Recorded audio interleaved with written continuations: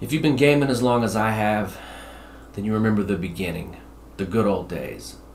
The Atari 2600, the ColecoVision, the NES, the Master System, the SNES, the TurboGrafx 16. I could literally go on and on and on about the glory days.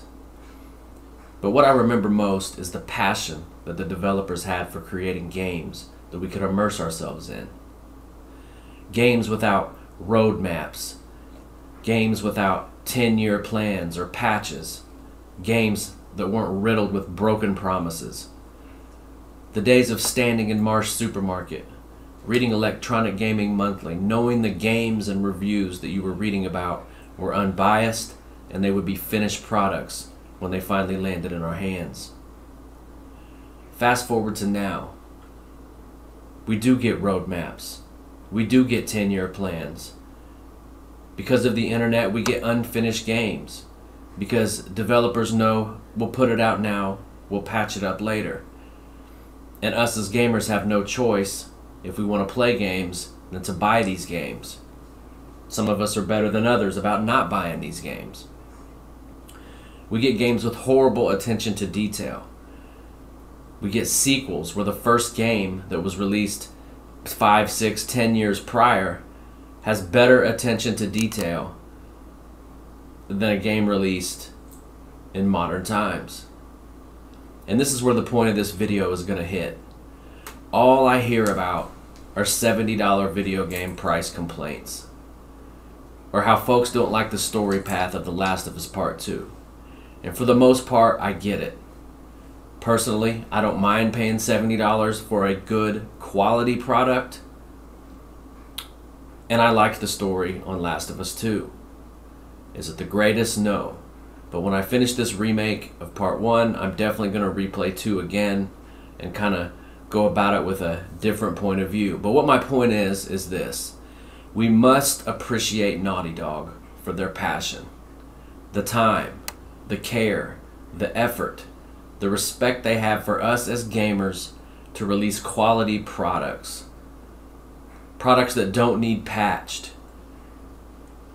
And products that don't have so many bugs like the most recent Saints Row. Products that we can just get into our hands and immediately immerse ourselves in the game. We must appreciate this. Because we got to be honest with ourselves, guys. Gaming is on a decline.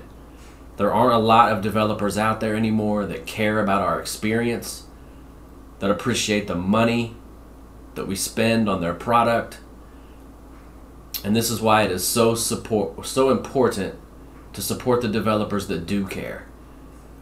I wasn't going to buy the remake. I had literally just beat the remaster again for the second time a while back.